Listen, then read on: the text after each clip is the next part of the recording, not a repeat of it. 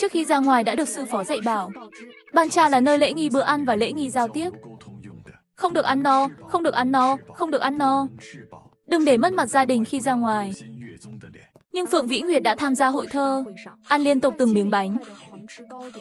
Đừng chỉ ăn, hãy uống nước đi. Cảm ơn vương gia. Không cần phải cảm ơn, nếu trước nghẹn thì lại không thể tham gia vòng tiếp theo. Nghe câu này, có phải là tiếng người không vậy? Không uống nữa. Âm thanh đặt mạnh ly trà đã thu hút sự chú ý của những người xung quanh. Chỉ thấy Phượng Vĩ Nguyệt quay lưng lại với Mộ Ngọc Sơn, ôm hai tay một cách tức giận.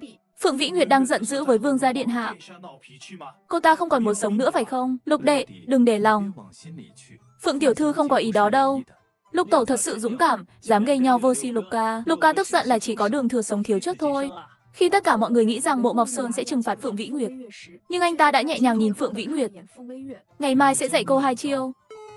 Được rồi, cảm ơn Vương gia điện hạ. Tôi biết rồi, bạn là người tốt nhất. Phượng Vĩ Nguyệt ngay lập tức cười tê tét và quay đầu điều hướng, cầm cốc trà vừa đặt xuống, tiện thể lau nước trên bàn bằng tay áo luôn. Cái con nhỏ này thật không có cốt khí. He he, hôm nay là ngày tốt nào vậy? Vòng 2, khinh thường việc viết văn. Mọi người đều biết chúng tôi tôn sư trọng đạo ở triều Bắc Ấn. Vậy nên chủ đề viết văn hôm nay là một chữ thơ. Mời mọi người thể hiện quan điểm của mình. He he, khi câu hỏi này được đưa ra, hôm nay món quà này không phải là của tôi sao? Điện hạ, bạn có thể tiết lộ một chút không? Bạn sẽ dạy tôi hai chiêu gì vậy? Ngày mai bạn sẽ biết. Hừ, keo kiệt, bây giờ không thể nói à? Không được, đến lượt bạn rồi. Vậy tôi sẽ thi trước. Phượng Vĩ Nguyệt đứng lên sau. Một tiếng thở dài, hồi tưởng về một bài thơ từ thời trung học, gần như phải nhớ thuộc một bài văn đến mức cả đầu cũng đau. Thơ nói, cổ chi học người tất có thơ. Thơ chính là cách truyền bá kiến thức và giải đáp nghi vấn.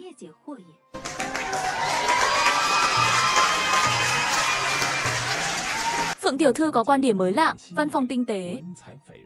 Hôm nay, Lão Phu có thể nói là mở mang tầm mắt với thế giới. Hôm nay có lẽ là một trong những cuộc thi văn mà Lão Phu thấy là một cuộc thi văn đấu thơ thú vị nhất. Đúng vậy, đoạn văn lớn vừa rồi, từng chưa có thể coi là lời hay ý đẹp. Chắc chắn sau hôm nay, danh hiệu nữ tài năng hàng đầu của Hoàng Thành sẽ thuộc về Phượng Vĩ Nguyệt rồi. Tưởng rằng Phượng Thanh Vân có tài năng, đã không ai sánh kịp. Nhưng không ngờ Phượng Vĩ Nguyệt mới là chân nhân bất lộ tướng. Phượng Thái Phó thật xứng đáng là Thái Phó trong triều đình. Ngày nay, Phượng Vĩ Nguyệt, một người phụ nữ kỳ diệu như vậy, thật hiếm thấy. Nghe tiếng khen ngợi liên tục từ dưới đấy. Phượng Vĩ Nguyệt nheo mắt cười. Xin lỗi, Hàn Ngọc Đại Đại, hôm nay tôi đã mượn tên bạn để tỏ vẻ. Sau khi Phượng Vĩ Nguyệt đọc xong, đến lượt thứ 6 xuất trận, tôi từ bỏ, công chúa từ bỏ. Bản vương cũng từ bỏ. Mộ Thanh Xuyên là một người mê văn chương. Những năm qua, bất kể cung điện biến động như thế nào, anh ta đều là người không quan tâm, là người không có tham vọng nhất trong số nhiều vương gia. Là người nhất nhất vô dục vô cầu. Ôi chao! Vậy bảo vật đó sẽ thuộc về tôi. Tiểu bảo bối, chị sẽ đưa em về nhà ngay đây. Phượng cô nương xin dừng bước. Thẩm lão bản có chuyện gì sao? Cô vừa thuộc lòng một bài thơ của Tống Tử, thật sự tuyệt vời. Không biết cô có thể viết toàn bộ bài thơ không? Tôi muốn đọc kỹ từng câu. Tôi có thể đọc cho ông viết được không? Chữ của tôi. Viết không thể viết được, trong đời này không thể. Để người khác viết giúp. Vậy tôi đi trước, chúc cô một ngày tốt lành. Phượng Tiểu Thư xin lên xe, cảm ơn vương gia đã đưa tôi về phủ. Cô dự định làm sao để cảm ơn bản vương? Mộ Ngọc Sơn nhìn cô ta một cái, ánh mắt lướt qua hộp đụa trong tay cô ta. Phượng Vĩ Nguyệt ngay lập tức giấu hộp đụa vào sau lưng. Ngoại trừ cái này, cái khác đều được. Vậy còn cái khác không? Còn gì nữa không? Tôi đây, tôi mạnh mẽ. Tôi có thể giúp bạn làm việc gì đó. Không thể phá sản, vẫn có thể giúp một chút. Bụi Trần, quay đầu về phủ. Đi đâu vậy? Không phải đưa tôi về nhà sao? Sao lại đột ngột muốn đến phủ anh? Phụ bản vương hiện đang sửa chữa một mái nhà. Cô không muốn cảm ơn bản vương sao? Vậy thì giúp đỡ chuyện xây dựng đi. Đây là chiếc xe hắc ám thật à? Bây giờ nhảy xe còn kịp không? Không đúng. Rời gạch. Cảnh tượng này, hình như đã từng thấy ở đâu đó. Chính trong giấc mơ về mỏ vàng đó. Sau khi Phượng Vĩ Nguyệt chuyển bốn xe gạch, cuối cùng không thể kiềm chế được nữa và bắt đầu tức giận. Mộ Ngọc Sơn, cầu nam nhân, cuối cùng, anh có hiểu người xưa có câu quý trọng phụ nữ không? Đã vậy, nếu thật sự muốn tôi làm công nhân xây dựng, mặc dù tôi mạnh mẽ, nhưng anh cũng không thể không coi tôi là một người phụ nữ được. Người ta rõ ràng là một cô gái dễ thương vô địch, nhưng anh lại muốn tôi làm công nhân xây dựng. Sao anh không để tôi biểu diễn kỹ năng đập đá bằng ngực cho anh xem? Cô nương, hãy nhanh lên, cây ở đây không đủ. Phượng Vĩ Nguyệt hít sâu một hơi, cất tay áo. đang chuẩn bị tiếp tục làm công việc. Một giọng nói trầm thấp vang lên trên đầu. Phượng Đình Đình, làm gì vậy? Sửa chữa khuôn viên này xong, ta sẽ cho thêm một số viên bạch ngọc. Bạn đã giúp bản vương xử lý vấn đề vì thiếu người rồi phải không?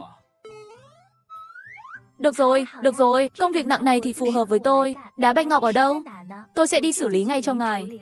Phượng Vĩ Nguyệt nói xong và chuẩn bị ra ngoài. Mộ Ngọc Sơn nắm chặt cổ áo của cô ta.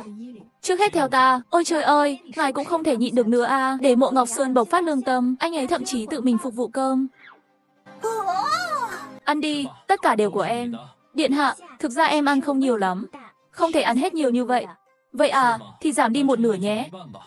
Đừng, đừng, để thử món này xem. Khi ăn cơm, Phượng Vĩ Nguyệt ban đầu còn ăn nhỏ miệng. Muốn giả vờ là một lần tiểu thư.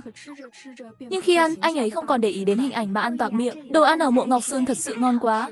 Con vật nhỏ này trông rất vui khi ăn cơm. Tôi nên về rồi.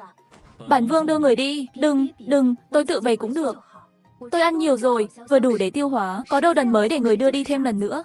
Đá bạch ngọc ở đâu? Tôi sẽ mang đi xử lý cho ngài. Ở sân, hãy đẩy đi. Nhiều chút cũng không sao. Vấn đề này, tôi đúng là có mối quan hệ. Tôi sẽ mang đi xử lý ngay cho bạn. Phát tài, phát tài rồi.